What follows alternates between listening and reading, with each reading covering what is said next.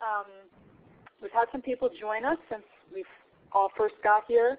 Um, if you can, um, if you haven't already, please go to the Tools menu on the top of your top left of your screen and select the Audio Setup Wizard, and that will um, will help you get the best audio quality for the presentation.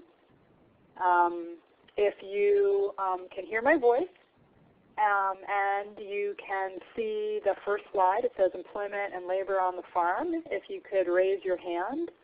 Um, not everyone, the little hand thing is over on the very left-hand side below the, um, the box that shows the participants. So we have five people who have their hands raised. I'm going to raise my hand now and then turn it off. Um, so if you could just keep your hand raised so I can make sure everybody's seeing the slides and hearing my voice. Um, that would be great. Ken, are you there? Yes, I'm here. Great. Um, Hi. Okay, so we have a couple more minutes till we're going to start. For those of you who have already gone through the audio setup, if you want to um, enter your email address in the chat box, that would be great. We use that to send you follow-up information after the webinar. And um, if you would like to keep it confidential, when you when next to the send button on the chat box, you can see there is an option of this room, but you can also just choose to send it to the moderators, so it will just come to me and will not be seen by everyone if you want a little bit more privacy. We just use this information to send you follow-up information.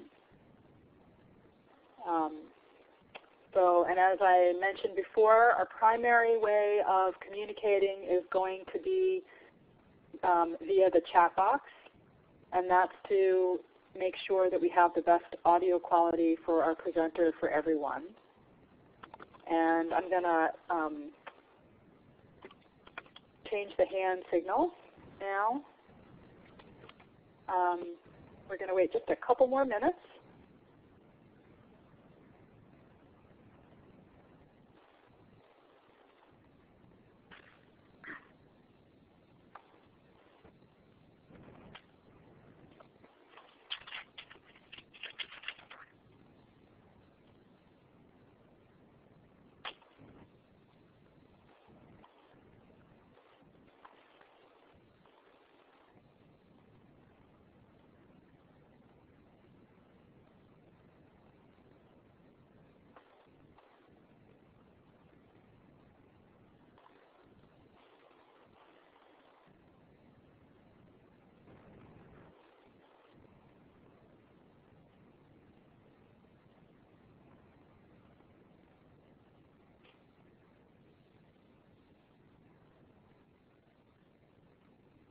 There's about three minutes to go, and if you are um, just joining us, um, please, if you haven't already, take a minute to go to the um, Tools bar, menu bar on the top and choose Audio Setup Wizard so that you can get the best audio quality for the webinar. And we're going to be using the chat box to ask questions. I see that Murphy has a hand raised. And if you have a question, um, I would appreciate it if you could type it into the chat box. Um, and also, um, to everyone who's, who's just joining us, you could enter your email address in the chat box so that we can send you follow-up information after the webinar, that would be great.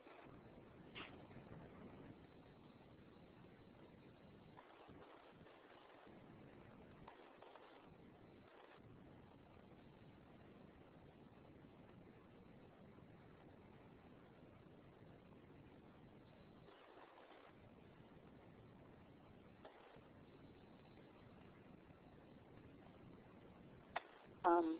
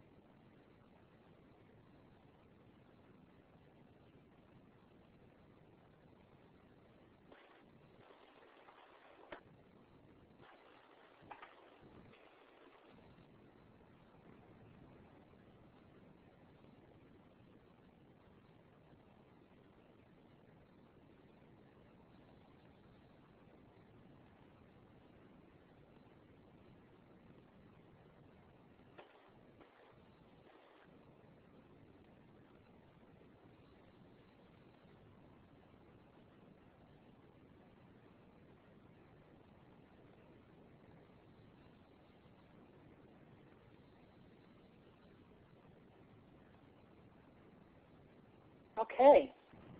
So my,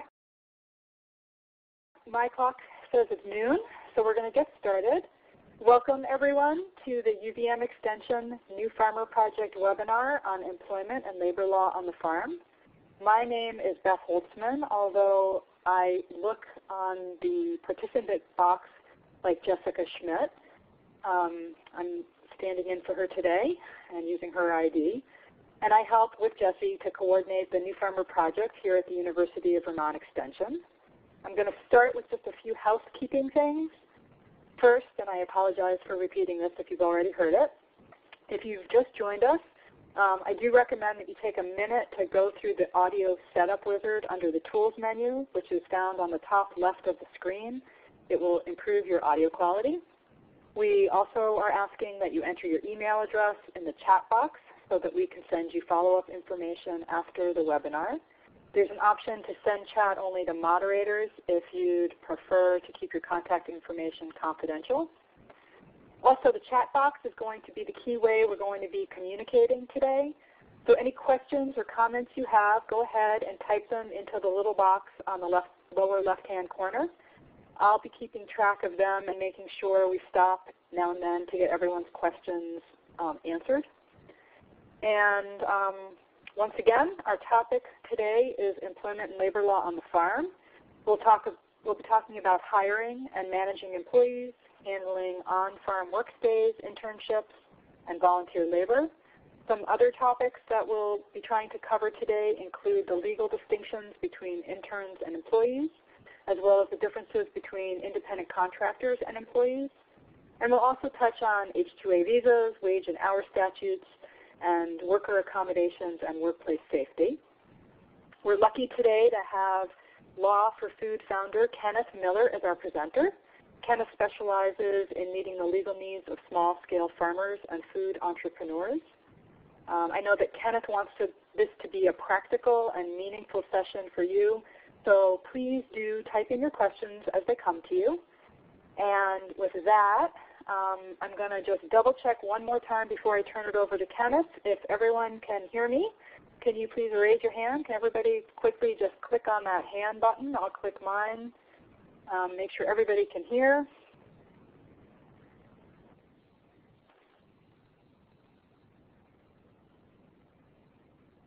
Give it just a second. We have a few more people. Are you seeing the hands raised? Um, the hand raise button is on the left-hand side, just underneath the participant box.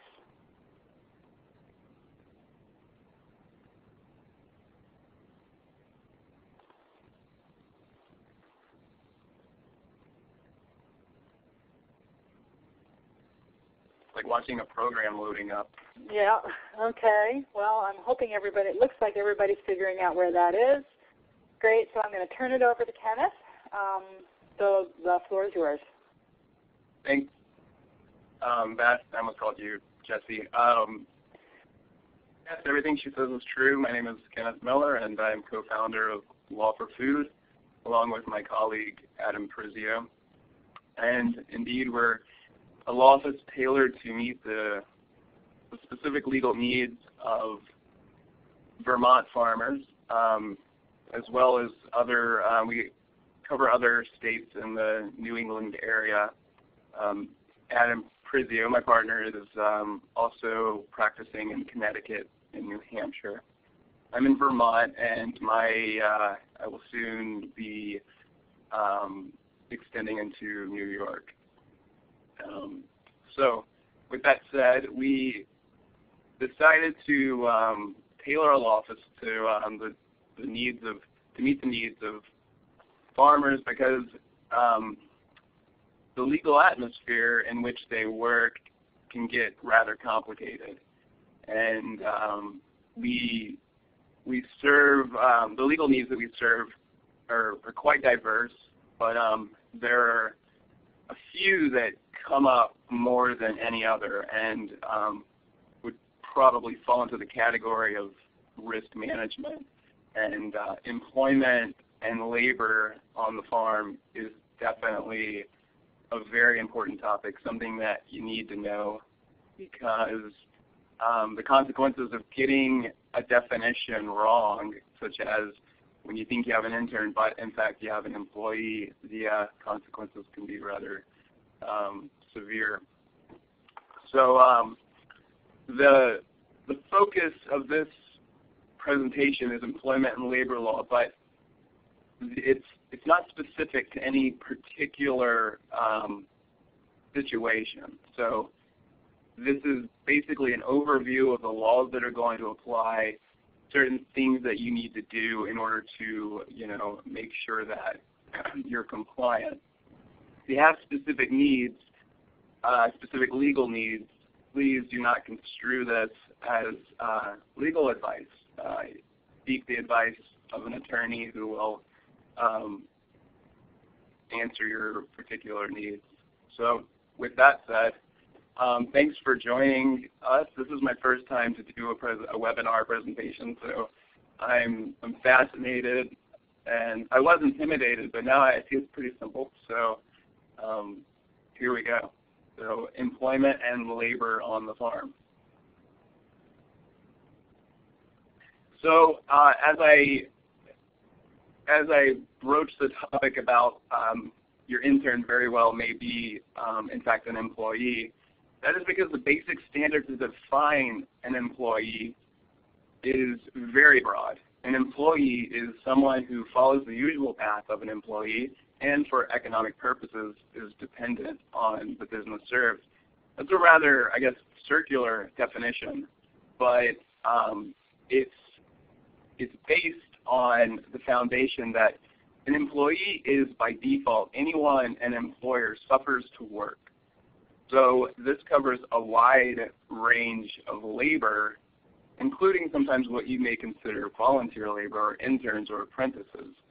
It is, uh, this is the default definition. So it's your burden to prove that what you in fact have is not an employee, but instead is an intern or apprentice. And um, I'm just to go back a little bit. I'm happy to if anybody asks you needs to have a question clarified, um, feel free to uh, type up the question, uh, and if it's a short answer, I'll answer it. If it's longer, I'll, I'll, I'll leave it to the end. So that's it. All right. So these are the primary laws and regulations that affect Vermont farm labor. This isn't necessarily everything, but this is primarily what is going to affect you as um, a labor, um, as a, a, farm owner with, um, with labor. The first is the Immigration Reform and Control Act. This is a federal statute, otherwise known as IRCA. Um, also, there's the Federal Fair Labor Standard, Standards Act, FLSA, that sets the baseline, and then states are allowed to uh,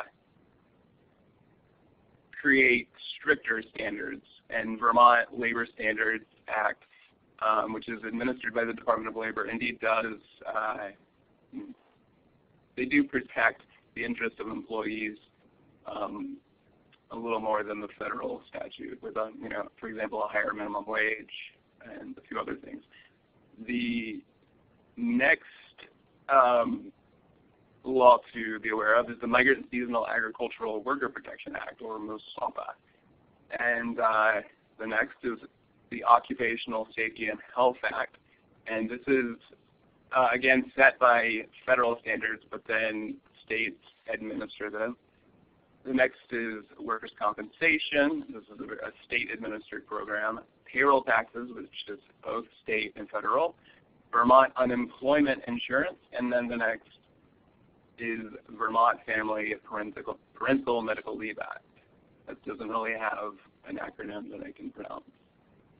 So next slide. We go into uh, something of a definition of some of these regulations. Um, I'm going to you know, give you sort of a, a short description. The uh, Immigration Reform and Control Act, IRCA, this applies to all employers and imposes penalties upon employers who knowingly hire or knowingly continue to employ individuals not authorized to work in the U.S. Um, to carry out the purpose of IRCA, there are a few forms that I'll get to later that you have to have an employee fill out on the day of hire. And this is Uh, keyword is hire. If you're not going to hire them, then the uh, the required forms don't apply. And uh, yeah, I guess that's all I'm going to say right now about IRCA. The next is the Fair Labor Standards Act, and so this is again the federal and or the uh, Vermont Department of Labor, and this is to protect workers from exploitation. It guarantees minimum wage, um, sometimes overtime pay, but if it's true agricultural labor, then you're exempt from overtime pay.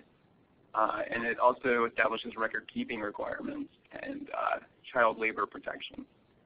Now, like I said, a state can make um, can create stricter requirements and greater protection of employees, and Vermont exempts agricultural labor from its uh, well, let me the the wage that Vermont sets is um, as of 2011 815 minimum wage.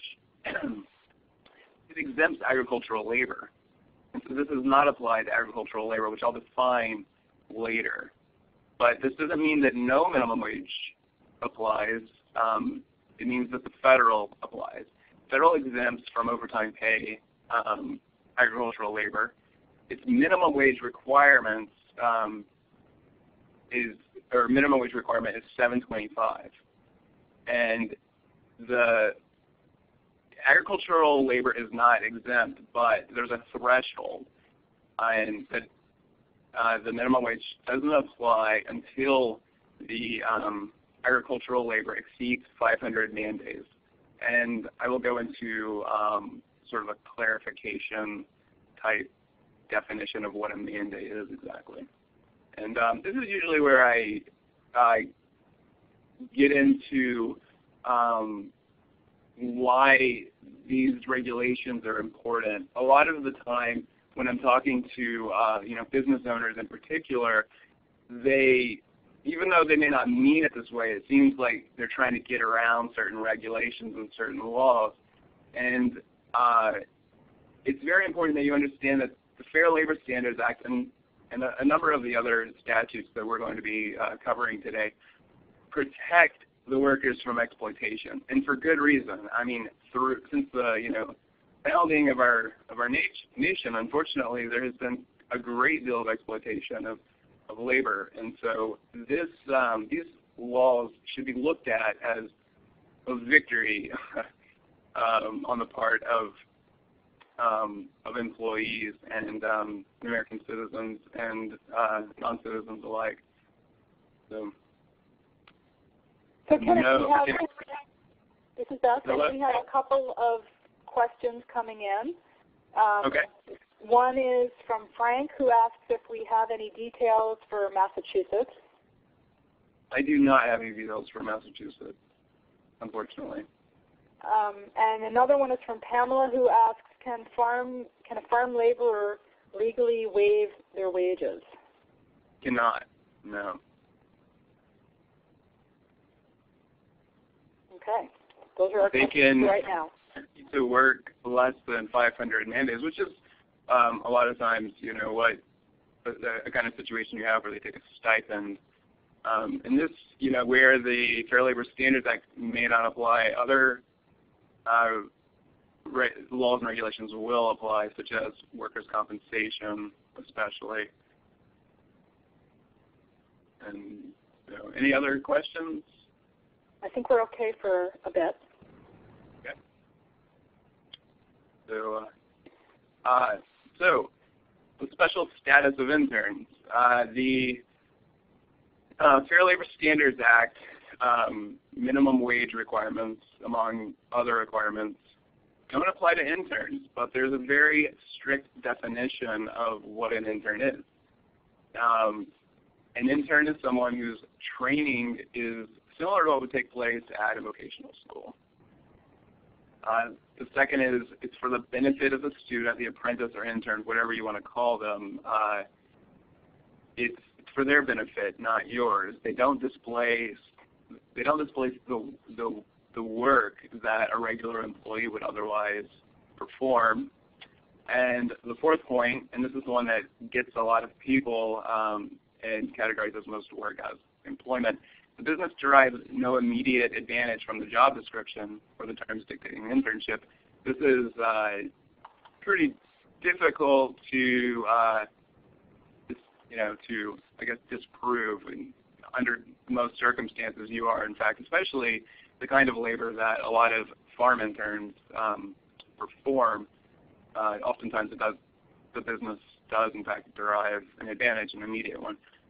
And the fifth point is uh, trainees are not necessarily entitled to a job afterwards. And finally, the business and the trainees both clearly understand that uh, the arrangement. They understand that, well, especially the trainee understands that they're not entitled to wages for the time spent in training. And uh, oh, okay. So Al is asking what defines ag labor for exemptions? I that is a very good question, and anticipating maybe not my next slide, but one coming up very soon. Thanks.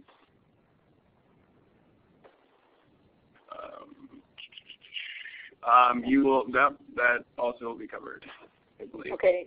And Al also asked, what if someone works in the field, the farm office, and the farm stand store all on the same farm? Um, yeah, I, am going to get to that. The, um, the short answer is that working in the field, uh, most likely you will be considered ag labor. Working in the farm stand store, you may, maybe not, probably not. Um, a lot of these situations are going to be something of a balancing act. But um, I, I, will get to um, what's considered the primary definition and the secondary definition of ag labor um, pretty soon.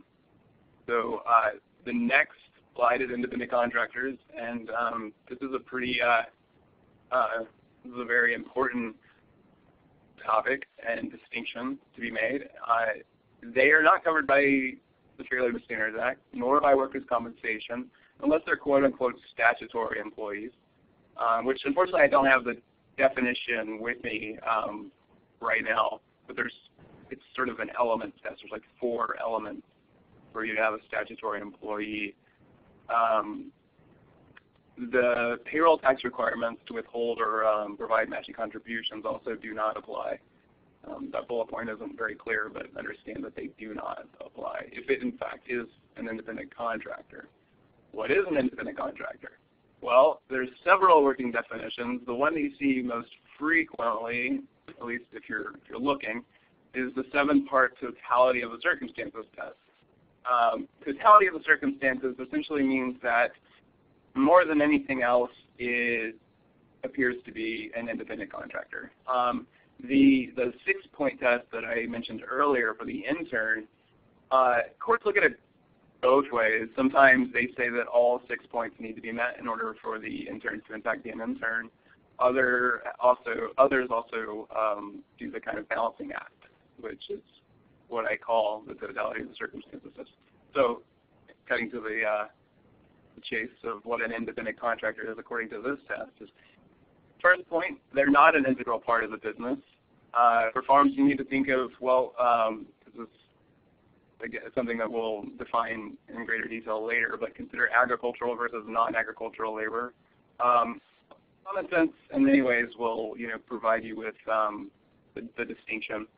Uh, the second point is they're not a permanent or long-term part of the of the business relationship they have their own business, you know, and you're contracting with them to uh, to fulfill a very specified expertise or role. Sort of like if you need a lawyer and you call up a lawyer, you know. Um, my if you call up my law office, we have our own stuff, our own facilities and stuff, which brings me to my third point. They're not dependent on your business or farm for the facilities and the equipment. Uh, fourth, they're not closely directed by the business fit. They're not shielded from liability and loss. What I mean by this is um, the risk uh, that a contractor um, takes when they enter into a contract is is, is fairly great. And employment, you're going to get paid. Um, at least you know you should, um, unless you know there's going to be. If you're not, there's going to be you know legal consequences to follow.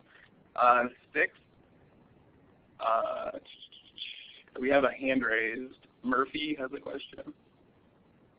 So if you could type in your question, that would be great. Um,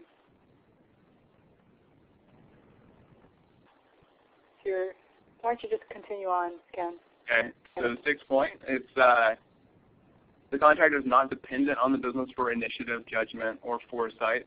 You know, on the contrary, that's probably why they were hired is to, you know, uh, fulfill their role as the expert and to um, to uh, I guess have their own, you know, by their own judgment and initiative to conduct certain activities a certain way. And finally, the seventh part is they're not a part of the same business organization and operation. Um, they have, like I mentioned earlier, they have their own office, they have their own organization, they have their own profit and loss statements, things like that.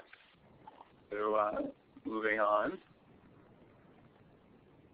The Migrant and Seasonal Agricultural Worker Protection Act. This uh, governs disclosure requirements and employee housing and references OSHA um, to inform it as to the standards for um, certain workplace standards and housing standards. And it may apply if your apprentice or employee does not return to their permanent residence at night, and the apprentice works 500 or more uh, 500 or more man days, which, uh, to define it a little more specifically, is a day in which an employee performs at least one hour's worth of agricultural labor in any calendar quarter of the previous year. Uh, this means that if your worker uh, works more, you know, more than one, uh, works three hours in one day, and that's a man day.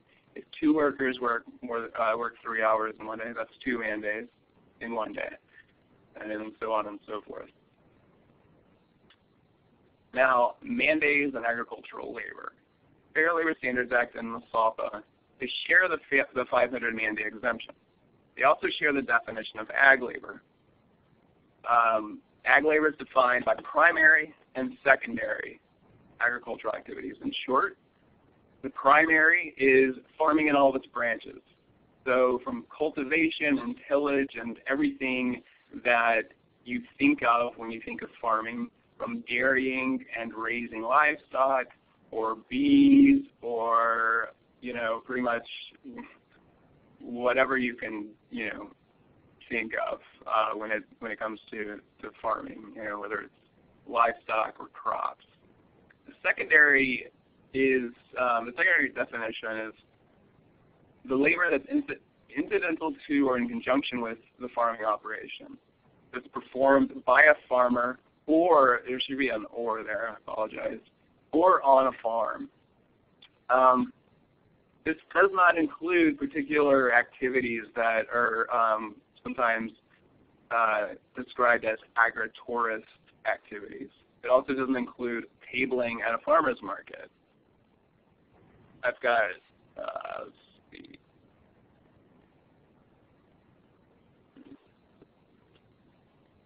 Yeah, um, Mr. Monahan. Hi, Mr. Monahan. I um, thanks for um, for attending, if that's what you call it, or participating in this webinar. Um, Mr. Monahan uh, works for the Vermont Department of Labor, and um, indeed there are different definitions depending on what area of law you're talking about. And I do um, I do bring up the different tests that are involved uh, with um, you know, depending on the area of law, such as workers' compensation, unemployment, insurance, and um, I'll get to that momentarily. and about examples of who is a legitimate independent contractor on a farm. A legitimate independent contractor on a farm is if your roof collapses and you call somebody up to come and repair your roof.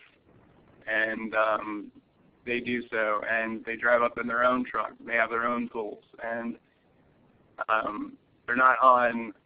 They have a, you have a contract with them, you know, to perform a very specific task that is governed by um, generally a very, you know, a, real, a short period of time. It's it's the the contract is complete at the completion of a particular task, and uh, it all, I mean, there I see the, the question. Um, you know, I mean, a lot of these answers have to do with the, the level of independence that they have from uh, from the business.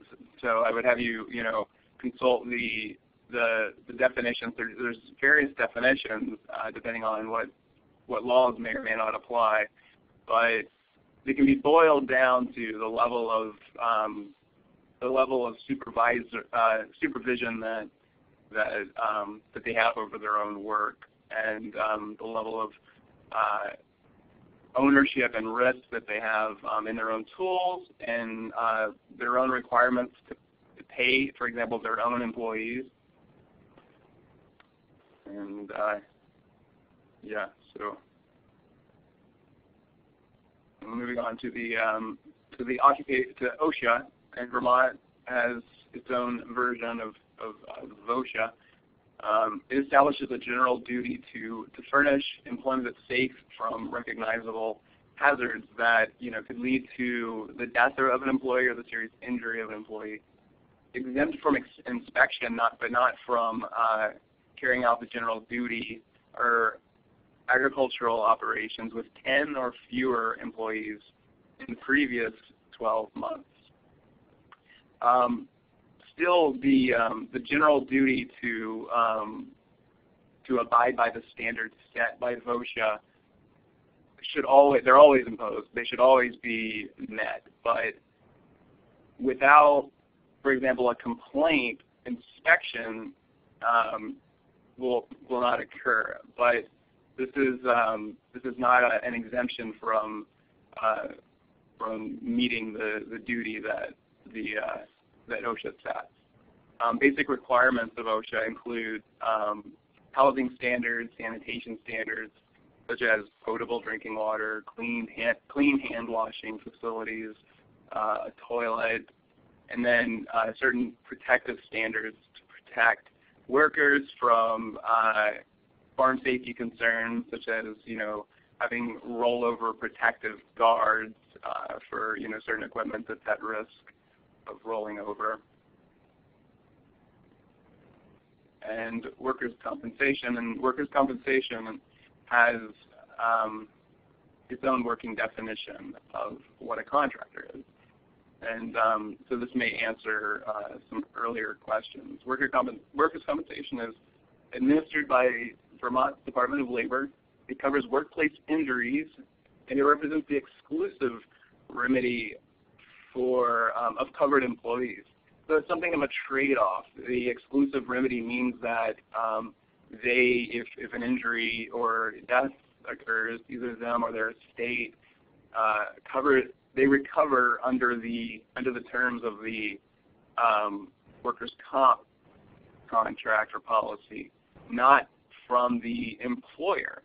So there is a, quid, uh, a quid pro quo um, at play here. It's it's oftentimes you know sort of looked at as a burden, but should things go wrong, uh, it's it's also it's very protective of um, compliant employers.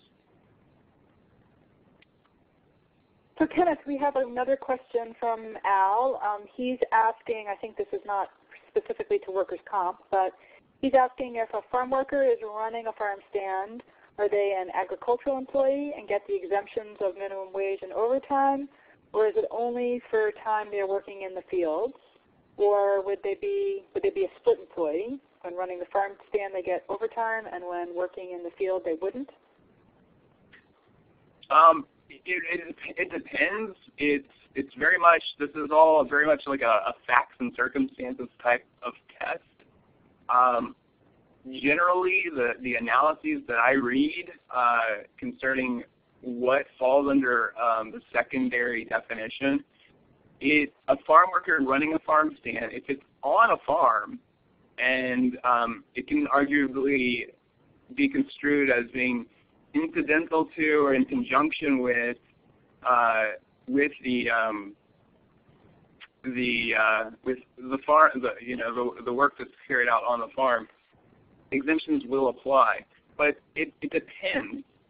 It very much depends. And situations like this, um, if you know if if I had a client or I was running a farm that you know, had an issue that like this, even if I've heard, you know, from another lawyer that, you know, if you're running a farm stand on a farm, then you know you're clear and you um, yeah, indeed have an ag employee, the exemptions or thresholds apply, I would still call the Department of Labor and ask them, be upfront with them, and uh, and, and just you know get their take on it.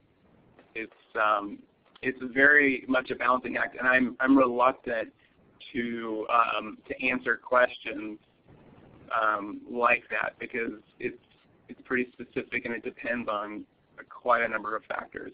I, I appreciate the questions, and if ever you um, you know if you're if you continue to be worried about or concerned with it, um, you can contact me. I, my contact information is somewhere around here, and um, I can call um, the Department of Labor, and or I'll do you know um, I, I can you know do my own analysis, which would probably involve calling um, under some circumstances anonymously uh, the Department of Labor.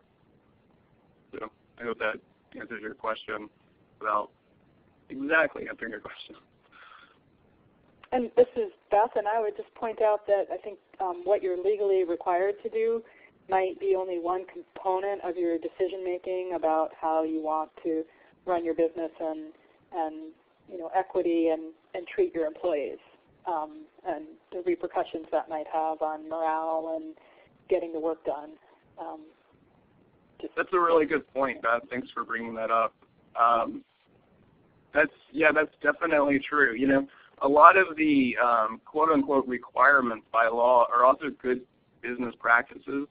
Um, and sometimes for your own risk management purposes, other times to you know continue having a strong relationship with your employee or or or intern or whatever. I mean, you do you know, for example, the OSHA standards and, and things that make sure that you know certain housing standard or components are are there, such as heating, clean water, and things like that. You don't. I mean, these are these are standard practices that need to be carried out, and um, also you know demonstrate a certain level of respect for for the people that are helping you you know run your operation. So uh, next um, is, are the payroll taxes. These are both federal and that's a good question, and un unfortunately, that is a question that you know I don't really have time to get into, and I don't really you know I haven't done um, the level of research to to really um, to really look at that. But there are a lot of um, there's a lot of you know Vermont government agencies, entities, um, and private as well that will help you um, cover your costs and you know make sure that you know you that things are, are reasonable within your um, your financial needs in particular circumstances. So um, the payroll taxes um, come from both federal and state governments. And thank you, Mr. Monahan. So answer your question, Al. And so the federal and income tax withholding, Social Security, and Medicare are the payroll taxes that affect um, farming operation in Vermont. And the threshold for application of these payroll taxes generally is for an ag employer $150 or more in annual cash wages to a single employee, so not much. And um, you would want to include the fair market value of certain um, certain things that aren't exactly cat. Well, actually, that's not true. I'm sorry. This is for another, okay, I just confused myself. All right, so um, $150 or more in annual cash wages to a single employee or who pay $2,500 or more in annual cash wages. Um, also included is um, the federal and state unemployment tax and possibly the uh, self-employment tax.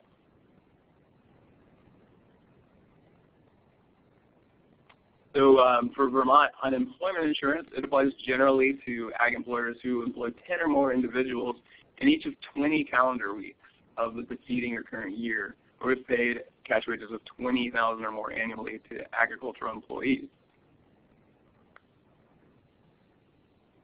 Oh, that's, Nope, that should have been at the end. Oh, what did I do? All right. All right, sneak peek for things to come. Okay. Ah, okay. So to determine whether or not your um, your employee is a contractor. Okay. Um, I I'm not sure about that, but um, that you may be right. So, um, the quote-unquote ABC test to determine whether um, your uh, labor is a contractor for purposes of unemployment insurance um, is uh, it's a three-part test, and uh, the the worker is a contractor if they're free from control or direction over the performance of of the services that they're um, that they're committing to your operation. The services outside the usual course of the business, which would answer a lot of questions. You know, it's if it's not what you call ag labor or in any way really, you know, uh, traditionally connected to ag labor, then uh, you, you may have a contractor. And um, or if the service is performed outside of the place of, um, of business of the enterprise. So you know, for purposes of farms, um, on the farm, on, on the premises of the farm. Uh, and then the, the third part is um, an individual that's customarily engaged in an independently established trade or occupation, um, someone who is, you know, for example, set up their own legal structure. And uh, finally, I, you know, would like to add that this is um, this ensures unemployment. This, in a lot of ways, ensures that unemployment insurance is is covered um, and covers a, a broad uh, group of, of workers. So the I guess burden of proof as is is generally on the farm, uh, the the owner, the employer to prove that what you have in fact is a contractor. So, and then just some scant information on the Vermont Family and Parental Medical Leave Act. It applies uh, when you have 15 for purposes of the family end of the Family Medical Leave Act, that was for family members, and then 10 um, for purposes of the Parental Medical Leave Act, which is uh, self-explanatory, when they're employed for, for one year at an average of 30 hours per week. And this provides certain protections for um, for when they are on leave, uh, for you know to, pro to provide um, care to a sick relative, um, to ensure protection of their of their work, and uh, that you know when they return from their leave, that they will have a job to to return to. And um, it also protects their uh, their their seniority at the at the job. So uh, sort of, I guess the next section of, uh, of, the, of the presentation here is now um, hiring and firing employees and independent contractors, which I'll talk about later. Um, to begin, Vermont is an at-will state, and what this means is that by default, without a contract, the termination of an employee may be with or without cause at any time. That, of course, is unless an exception applies exceptions to the general rule include um, if the termination is contrary to public policy, such as um, discriminatory uh, um, termination or retaliatory, if it's because uh, the worker turned you in for not complying with uh, unemployment insurance or workers' compensation, for example, and you fire them in retaliation. That's not allowed and uh, would be at variance with Vermont's at will, uh, I mean, I'm sorry, with, um, with, it would be considered wrongful termination. So, also, um, more exemptions. An employer's policies can modify the default at rule, and this uh, this creates a number of problems and a number of um, confusing scenarios, and it's where the the employer may promise to be in writing or verbal uh, to provide only for cause termination that they will not provide, and that they will that they're basically um, uh, you know I guess that the you know the at will default will not will not apply uh, in this particular instance. And they can also set a disciplinary procedure that they must abide by before uh,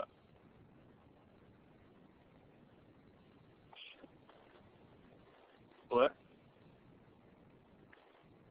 You there? Yeah, yeah. I'm sorry. Um, I just got a, a text box telling me that it's reconnecting, so I think I lost the connection somehow. Uh, okay. Um, okay. But do you but do you have the I can uh, see. PowerPoint? I, I, yeah, we can. I can see the PowerPoint. Okay. Um, well, I, I have my PowerPoint that's not, um, you know, I have it separate, so I can I can continue. Okay. Um, so I'll just let you know when to change change the slide. Sorry about this. Will do. All right. So,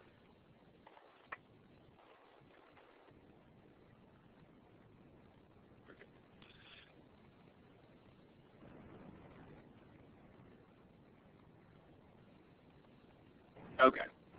So um, yeah, in instances where they uh, where the employer uh, establishes a disciplinary procedure that they must go through before any kind of termination or um, or anything about nature will take place. Um, also, uh, this is something that is is widely um, apply is, is applied is applied uh, quite differently um, depending on what state you're coming out of.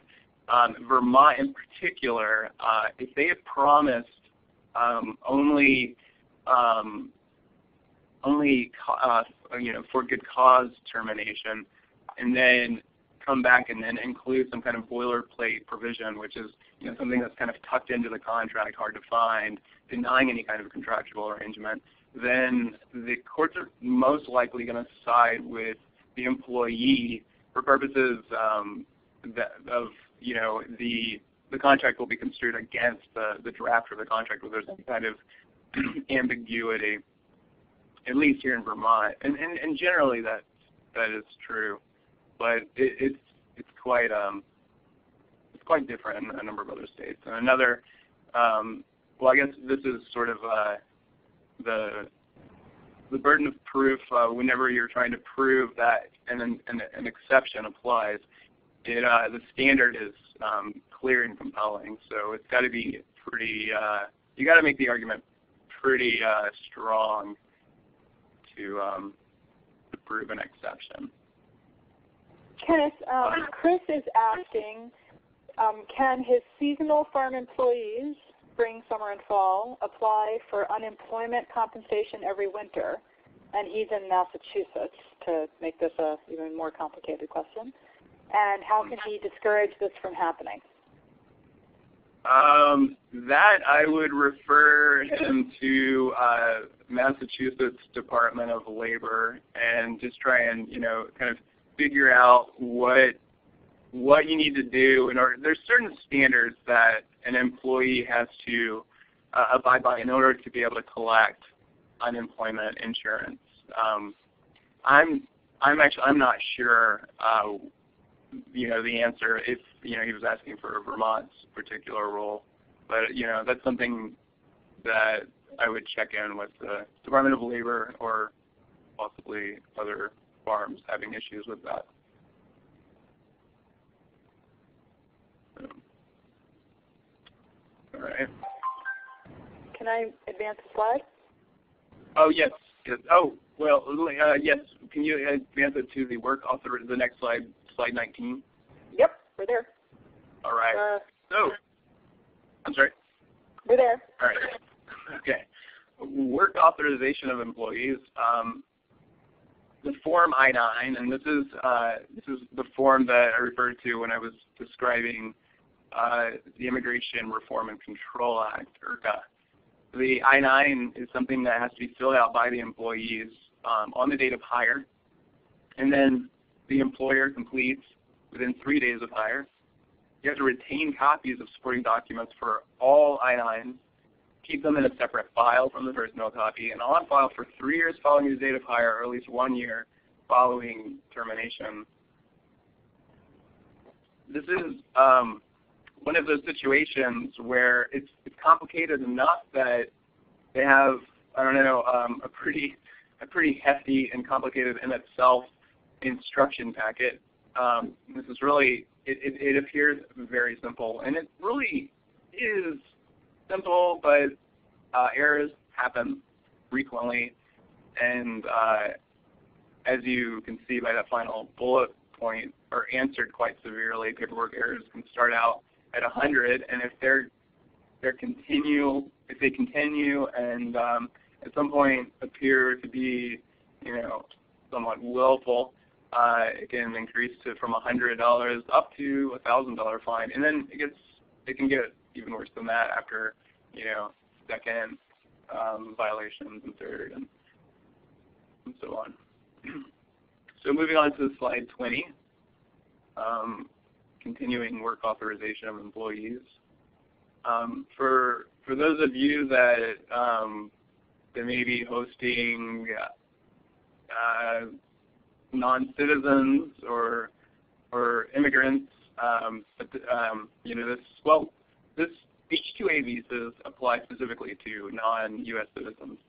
Um, it's the work authorization for um, for for non-U.S. citizens that perform, uh, in particular, ag agricultural work, but only on a temporary basis.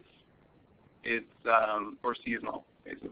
It's it's jointly administered by the federal departments of, of labor and the Department of Justice. Um, it applies to employers again that are seeking ag laborers laborers um, on a temporary seasonal basis, and this is um, this requires you to anticipate that you're going to need uh, these such workers you know, within enough time uh, to apply. So um, just to, to move on to the next slide, slide 21. Hold on just a second. Um, so Janet, or Janet asks, um, must an I-9 be filled out every year, even for returning employees, or can we keep old forms? You can, for the for a continued a continuing employee, you can you can keep old forms it's it's only it's a requirement for the beginning of the employment relationship. I mean, there are certain circumstances where you might need a new one. I can't really think of any, but I'm sure they're out there. You know, where um, maybe the supporting documents begin to, uh, I don't know, for some reason they they look, uh, you know, you become skeptical or whatever, um, or you know, if if things change and uh, perhaps something is in their um, in their work eligibility has changed, then there are certain circumstances, depending on you know who exactly you're talking about, where you would definitely want to, uh, for your own sake, make sure that they're still eligible to work. So I think I may have answered no, but under certain circumstances, yes, depending on the kind of say work visa or whatever it is that they have. So Kenneth, we had one more question just come in um, from Eric, and the question is, are there any legal distinctions between apprentices and interns? I know it's off the topic of H-2A visas, but could you quickly address that? Sure. Um, not really. Uh, there's more of like maybe a traditional kind of uh, kind of view where you know apprentices are um, are trained in a way that's a little bit different from interns apprentices generally kind of you know uh, you know follow the um, the mentor. They're sort of the, they're the protege. They're following the mentor. The mentor is doing more than just teaching skills. They're also teaching you know um, kind of like the business philosophy, and uh, they're kind of taking them under their wing and and and also maybe I guess teaching the lifestyle of what it is to be a small scale farmer in particular. An intern um, this is not a legal distinction. I mean, they're really legally looked at all the same. Um, and, you know, by default, sort of, I guess, as employees, um, so you can prove that they're otherwise. But an intern, by contrast, is you know, uh, you know, I, I kind of think of, uh, you know, what they put put us through um, as lawyers when we're in law school. We're obviously interns when we go during our second year of law school and work for free, um, as basically any other employee does. But we're an intern, and um, you know, I guess legally we, we, we meet the, that six-point test in order to remain interns.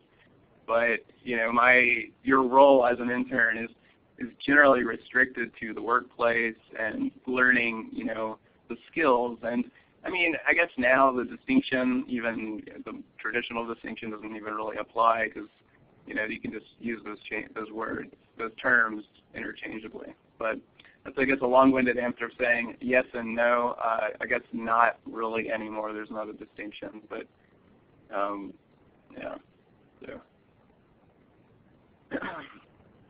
Um, so, Beth, how are we're we have ten minutes? We have about ten minutes left. Yep. Okay. All right. Well, let me um, kind of I guess go through the the rest of the H-2A visa stuff. So slide 21 is um, you know clarifying who an H-2A visa uh, applies to. These are foreign, non-immigrant non not intending to stay temporary uh, workers or seasonal agricultural workers. Um, for the employer to apply to apply and have these have um, an employee a worker um, by by an H-2A visa, they have to first apply to the Department of Labor, the Federal Department of Labor, within or within 45 days of the estimated date of need. This is um, 45, 45 days before you think you're, you're going to need them.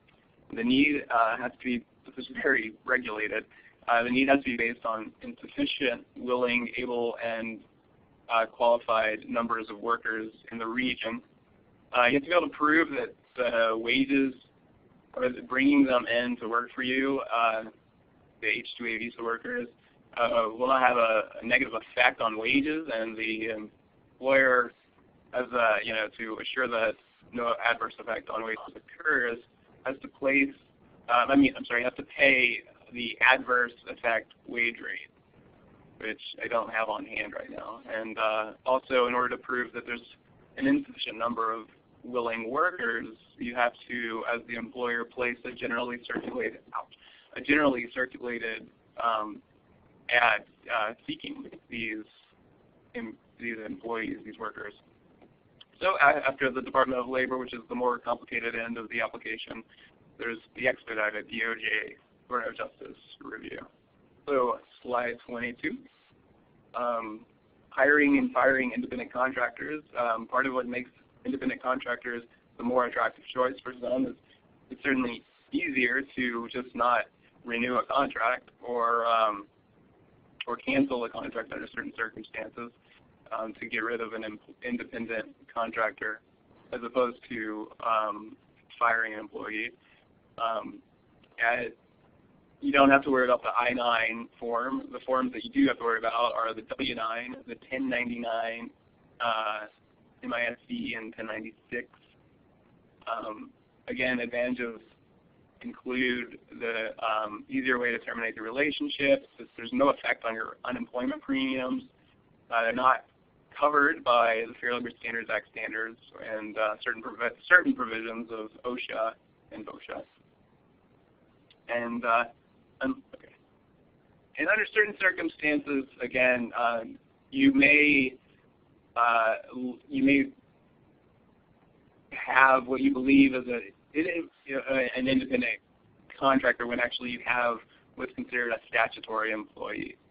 So um, it's very important to know the distinction depending on the law that, um, the area of law that you're, um, you're seeking an exemption for that may apply.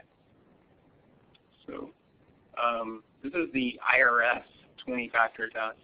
I'm not going to go through all these um, all these factors, but um, they're for you to look at, and it's indeed a, uh, a totality of circumstances type of test and each one of these little um, descriptive terms that you can check off, the more likely that what you have is um, an independent contractor.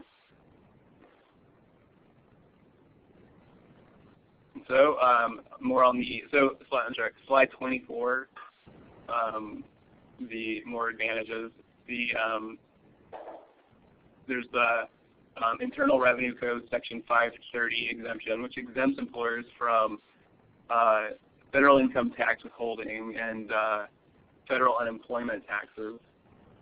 And then there's different tests to figure out whether or not these apply. And I'm going to just kind of zip on by. Um, slide 25. There are um, severe penalties for um, misclassifying an employee as an independent contractor. Payroll taxes can be retroactively assessed. Um, the employer is going to be, become 100% liable for the matching share um, from the employee and employer. And there's also civil and sometimes criminal penalties. And moving on to slide 26. This is um, all the different youth employment and uh, regulations and, and, whatnot that apply in Vermont. They depend um, on the age. There's um, different requirements for um, youth below 12, 12 years of age, youth at 12, and then 12 to 13 to 14 and 16. And you can uh, look at these regulations and different standards um, at your leisure. And slide 27 are pretty much things that I've already gone over with the Fair Labor Standards Act. Um, payment schedules. Payment has to be paid within seven days of the end of the pay period. Um, in Vermont, it may be weekly, biweekly, or semi-monthly. And next slide. Uh, this is slide 28. Special, special federal exemptions for agricultural work apply in four different cases. Uh, family members, the 500 man day uh, threshold, local temporary workers performing hand harvesting on a piece rate basis, and for um, especially uh, good for Vermont, the maple syrup production is exempt from overtime pay. So, uh, final thoughts are, um, well, sometimes what you want and what really your uh, business purposes is not to designate what you have as labor, but maybe you want to bring them in as a junior partner or um, lease a parcel of your land as the lessor to, um, to a farming tenant. Um, these are certain situations where you might want to sort of um, bring them in and prepare them to, you know, uh, maybe transfer your farm or, um, you know, there, there are a number of, of different ways to, I'm not going to say get around the exemptions, but uh, to um, to structure the relationship, to protect the um, the employee, whatever you have, labor or worker, in some cases, um, in other ways than um, are required by a laborers. For example, by bringing them into a partnership, uh, partners, um, the um, much of these, many of these laws don't apply to uh, specifically to partners in a partnership. So, um, and finally, I guess the last point is need to be forthright and respectful of your workers and apprentices and whatever it is that you have, and be sure that you're checking in with the authorities if they're out there. And they are, under certain circumstances, cracking down. There's been recent enforcement actions um, taken by the Vermont Department of Labor, and uh, specifically on farms for not complying with workers' compensation, unemployment insurance, and certain minimum wage requirements. So if you're at risk or you think you might be or you have any questions about some particular uh, situation that is on your farm, feel free to call me. I'm happy to uh, you know walk you through and uh, possibly even you know uh, make a call to um, Department of Labor or you know give you um, a, solid answer um, about you know your particular circumstances. So yeah, uh, call the Department of Labor. So um, again, my name is Kenneth Miller. I work at Law for Food, and we have a website, lawforfood.com. I have a phone number, uh, which probably can be found somewhere um, close to the presentation. And uh, feel free to contact me anytime. Um, our, our mantra is that we provide legal services um, at an affordable rate, so we don't want to turn anybody away. Uh, we will we will make our our um, our rates affordable and um, adjust them to uh, to meet your particular needs. Okay, so that is that is, um, I think that's it. Thanks me. a lot, Kenneth. Um, this is Beth again. Um, so I actually, um, there's a slide up right now that has the Law for Food website and the UVM New Farmer Project website. And we have a couple of questions that came in at the end. One is from Pura Vida Farm, which is asking, um, I believe that having volunteers on a for-profit farm is illegal. Is there a way to make this legitimate, such as having them pay a small fee to be on the farm? Um, and, Um, yeah. and also, Pura Vida asks, um, I think she's qualifying or he's qualifying his um, question with casual volunteers who want to hang out a weed or harvest every once in a while. Okay. Um, volunteers aren't illegal. Uh, if they're truly volunteers and they're doing it for their own edification, then you know there is a, a definition of a volunteer, and that's that they're doing it for their own benefit, um, and you're not compensating them at all. But if you are compensating them, and it falls below the standards set by the federal and Vermont governments, then yeah, it's going to be illegal. Um, I don't. What was this? Uh, um, it's a yeah. It's a if they're paying a fee to uh, to do certain activities. Um, yeah, depending on the circumstances, it could uh, yeah pass um, muster. And uh, what was the next question? Um, so then also, um, Janet asks, will we get copies of the slides? And so um, this brings me to the conclusion. So yes, we will be posting both a recording of this webinar and the slides on our webinar page at, our, at the UVM New Farmer Project website. So you would go to www.uvm.edu slash newfarmer, and from there on the left-hand side, click on the webinar button and go to the recordings of webinars, and both of these elements will be there for you to use.